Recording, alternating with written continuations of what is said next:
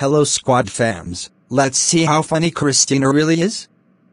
Joining us for the first time is Christina from Christina and Son Ghost Squad for her comedy debut. Thank you for that great introduction, Wayne.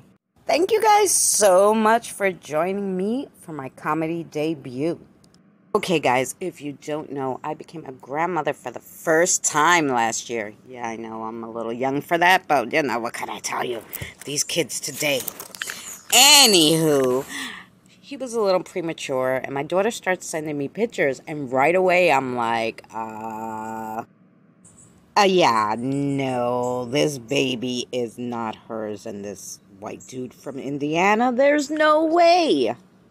I didn't want to cause any waves. I didn't say anything, but then they invited me there to Indiana. We'll get to that story a little later.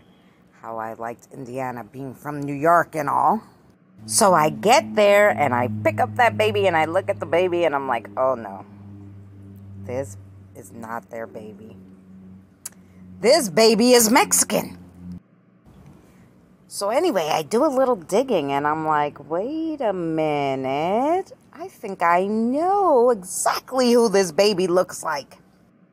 So I go to my daughter, of course, and I'm like, hey, um, are you sure this baby is yours and his? Because I think you have a deep, dark secret.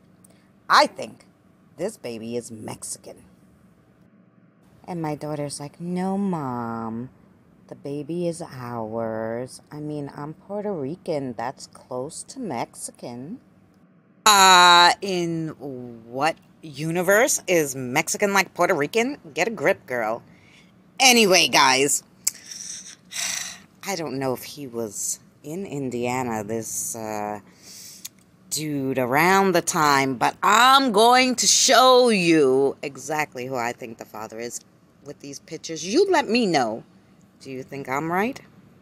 So, yeah, yeah, guys, you see what I mean? Just by the first picture. There's more. See what I mean? Exact, guys, exact. I don't know, you can't get any more exact than this. So, yeah, guys, even if he isn't the father, that baby's Mexican. I knew it right away, so I was like, you know what?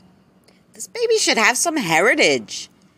Maybe I'm going to look for like uh, lullabies for Mexican babies.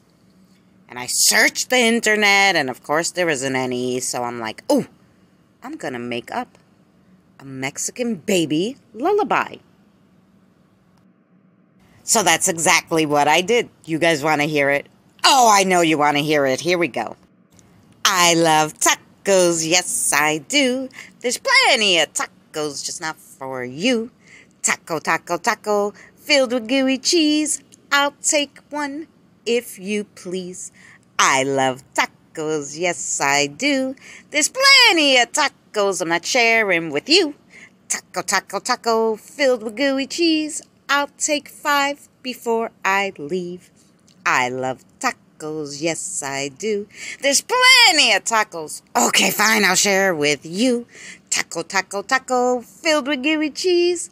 I'll take them all if you please. So, what did you guys think of my Mexican baby lullaby? Did you love it? Every time I sing it to the baby now that he's older, he just laughs and laughs. So, yeah, guys, what could I tell you? He's Mexican.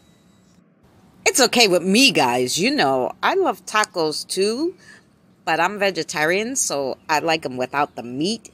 I believe they call those quesadillas. I don't know, but it has lots of gooey cheese, and that's exactly how I like my cheese. Oh gosh, they're flashing me, guys. I guess that's my time. I really hope you guys enjoyed this, and we'll see you soon. Well, there you have it, squad fams. So, Zouier eh? should we do another bit featuring Christina? Let us know down in the comments below. Until the next time, thanks for watching. We will see you on the next adventure.